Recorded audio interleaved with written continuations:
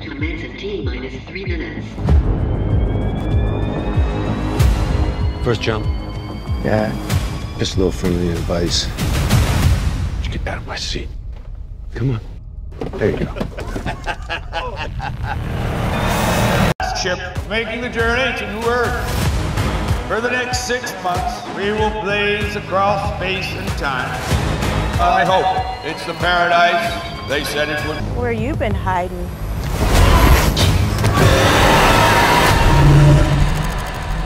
Don't know what could have done this. Something seems to be dissolving him from the inside out. It's not human. And it might still be out there. Halo teman-teman yang budiman. Jumpa lagi di Kopi Wi-Fi Channel. Apa kabar kalian semuanya? Semoga kalian semua dalam keadaan sehat-sehat ya. Di video kali ini Kopi Wi-Fi Channel akan menyajikan alur cerita film yang berjudul Bridge. Oke lah teman-teman gak usah pakai lama ya. Kita langsung aja mulai alur cerita filmnya. Dan setelah itu kalian jangan lupa like, komen yang positif, dan subscribe. Selamat menonton dan terima kasih. Cekidon.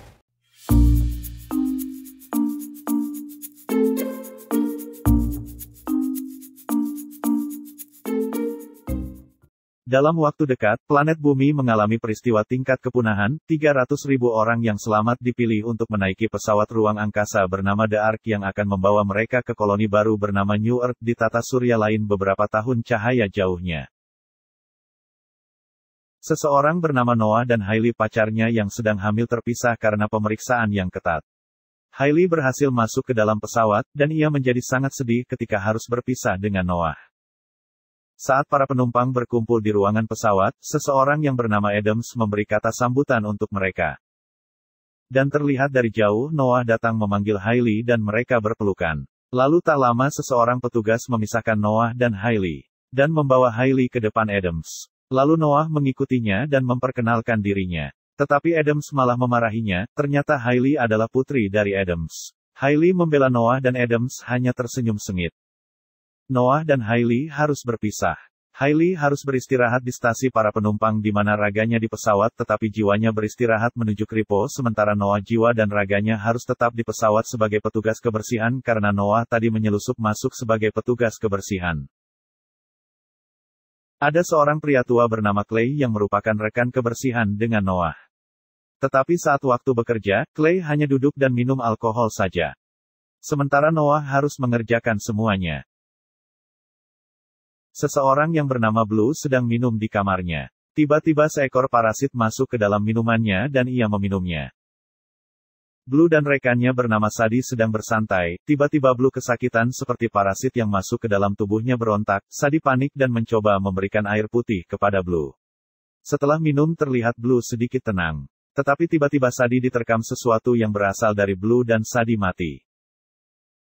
Sementara itu kembali ke Noah. Ia memata-matai Clay dan mencurigai Clay sedang membuat bom. Ternyata Clay mengetahui bahwa Noah memata-matainya. Saat Clay menyuruhnya untuk duduk, Noah berlari dan bertemu dengan Lincoln. Dan Noah memberitahu bahwa Clay membuat bom. Tiba-tiba Clay datang dan menyuruh Lincoln membawa Noah ke ruangan pembuatan tadi. Dan di ruangan itu Noah diborgol. Tak lama Ortega dan Chamber masuk. Mereka mengambil segelas racikan dan memaksa Noah untuk minum. Noah sebenarnya menolak tetapi terpaksa meminumnya karena mereka memberinya. Dan Noah baru sadar kalau yang ia minum itu ternyata alkohol. Ternyata Clay membuat minuman keras dan tidak membuat bom seperti yang dikatakan komandan kepada Noah. Lalu mereka menyuruh Noah tidak memberitahu komandan karena mereka semua akan dipenjara militer. Dan Noah menyetujui itu. Malam itu, para pekerja mengadakan pesta dadakan merayakan ulang tahun Ortega. Mereka minum minuman yang diracik oleh Clay. Dan mereka tidak sadar komandan sedang mengawasi mereka. Selesai acara beberapa orang berkumpul dan saling bercerita tentang orang-orang terkasih yang mereka tinggalkan. Noah memberitahu dan berbohong kepada semua orang bagaimana dia akan ditugaskan kembali menjadi tukang daging ketika mereka mencapai bumi baru. Ortega pergi meninggalkan teman-temannya untuk mencari Blue. Dan menemukan Blue sedang mengelas sendirian. Ortega mendekati Blue, dan Blue menangkap kepalanya dan membunuh Ortega. Keesokan harinya Clay mendapati Noah sedang mencari-cari tugasnya saat mencapai bumi baru di komputer dan Clay mendapati itu. Lalu Clay bertanya mengapa Noah baru mencari tugasnya di bumi baru. Akhirnya Noah mengaku bahwa ia bukan manusia pilihan untuk ke bumi baru. Ia adalah penumpang gelap. Kemudian Noah bercerita bahwa ia mempunyai keluarga di kapal itu yang bernama Hailey Adams. Mendengar itu Clay hanya tertawa dan tak percaya kalau Noah berani memacari putri Maksamana Adams. Dan tak lama Clay menerima panggilan, Noah memohon pada Clay untuk merahasiakan semuanya. Petugas keamanan Stanley menemukan tubuh Sadi yang membusuk dan mengidentifikasi Blue sebagai pembunuhnya. Dan Clay menemukan tubuh Ortega yang juga terbunuh. Sementara pencarian Blue berlanjut, Stanley mengumpulkan detail keamanan dan mereka menemukan Blue berusaha masuk ke markas Laksamana. Clay mencoba berunding dengan Blue sementara Stanley menuntut Blue menyerahkan diri. Keadaan berubah ketika Blue melompat dan membunuh salah satu tim keamanan dengan menggigit tenggorokan petugas. Stanley dan Tick terpaksa menembak mati Blue. Setelah itu Chamber melakukan otopsi pada tubuh Blue untuk mencari tahu mengapa dia membunuh Ortega dan Sadi. Sementara itu Tick mencari fit video dan melihat rekaman kematian Sadi dan infeksi awal Blue. Chamber melaporkan bahwa Blue benar-benar berlubang dan ada parasit yang lepas di kapal mereka sekarang ini. Chamber menemukan bahwa Noah bukan anggota kru tetapi penumpang gelap dan Stanley menangkap Noah. Mereka percaya bahwa Noah terlibat dalam kejadian aneh itu. Tetapi Clay berhasil membela Noah dan dia dibebaskan. Sementara yang selamat mendiskusikan langkah selanjutnya. Tiba-tiba mayat Blue, Ortega dan Sadi hilang. Ternyata mereka hidup kembali dan menyerang yang masih hidup. Dan mereka membunuh Stanley.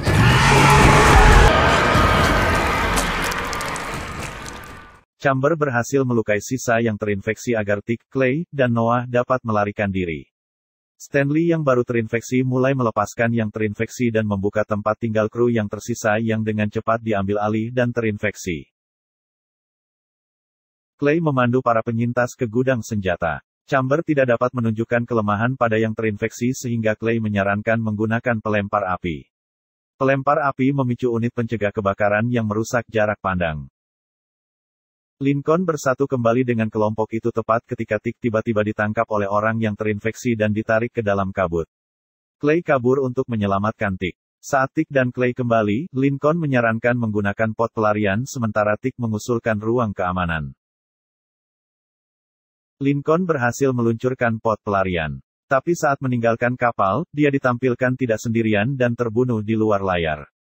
Para penyintas yang tersisa sampai ke ruang keamanan tetapi Stanley menangkap Clay saat mereka mencoba dan mengunci diri. Noah menembak Stanley sebelum dia dapat menginfeksi Clay dan mereka membarikade pintu. Dengan sisa 84 hari sampai kapal mencapai bumi baru, para penyintas mencoba menyusun rencana untuk menangkis yang terinfeksi dan menyelamatkan penumpang lainnya. Clay memandu Noah melalui saluran udara ke Laksamana dan mereka harap Laksamana dapat menyelamatkan mereka. Tick kemudian mengaku bahwa dialah yang melepaskan infeksi. Noah mencapai tempat Laksamana dan Tick mengaku Clay dan Chamber bahwa dia bertanggung jawab atas segala sesuatu yang telah terjadi dan pada kenyataannya seorang revolusioner garis keras misantropis yang menentang populasi kembali bumi baru. Laksamana membangunkan tim keamanannya dan mengusulkan untuk menggunakan senjata yang lebih kuat melawan yang terinfeksi. Saat orang yang terinfeksi masuk ke ruang keamanan, Clay dan Chamber melawan mereka sementara Tick diserang dan dibunuh. Tim keamanan Laksamana akhirnya kewalahan dan Blue mengejar Noah. Saat mereka bertarung, Noah memerciki Blue dengan cairan pembersih dan Blue ambruk sambil berteriak. Saat Noah mencoba memberitahu semua orang tentang temuannya, Laksamana mengorbankan dirinya dengan meledakkan granat, dan tampaknya menghancurkan yang terinfeksi. Tapi saat Chamber dan Clay berpikir ini sudah berakhir, mereka melihat bagian tubuh yang tersisa mulai terhubung kembali. Yang terinfeksi membentuk makhluk mutan yang lebih kuat dan yang terinfeksi lainnya memasuki inti reaktor. Noah menjelaskan efek yang dimiliki cairan pembersih dan kelompok itu menuju ke tempat penyimpanan minuman keras Clay untuk membuat senjata yang lebih baik. Sama seperti mereka merencanakan serangan mereka, waktu kedatangan mulai berkurang sebagai terinfeksi memanipulasi reaktor. Clay menyerang beberapa orang yang terinfeksi dengan senjatanya yang baru dibuat. Sementara yang terinfeksi mulai menginfeksi penumpang. Clay mengirim Noah untuk menyelamatkan Hailey sementara dia menahan yang terinfeksi. Noah berhasil menyelamatkan Hailey dan mereka berjalan menuju pot pelarian tepat saat mutan yang terinfeksi menyerang. Chamber terbunuh dalam serangan pertama monster itu, saat Clay mencoba menahannya tetapi dia juga kewalahan dan sepertinya terbunuh.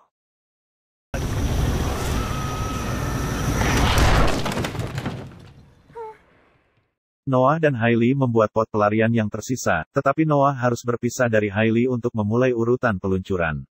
Noah menghadapi monster itu dan berhasil melemahkannya dengan senjatanya. Saat Noah mencoba pergi, Clay mengirim pesan kepadanya dari jembatan. Clay sudah mengatur tabut untuk dihancurkan sendiri saat Noah melarikan diri bersama Hailey. Noah dan Hailey mencapai bumi baru, tetapi ketika mereka muncul dari pot pelarian, Noah melihat manusia lain yang ternyata terinfeksi, dan di kejauhan ada monster besar. Saat film berakhir, Noah mengangkat senjatanya dan mengucapkan bakar mereka semua. Oke lah teman-teman, sekian dulu video alur cerita film kali ini. Sampai jumpa di video selanjutnya. Dan terima kasih sudah menonton.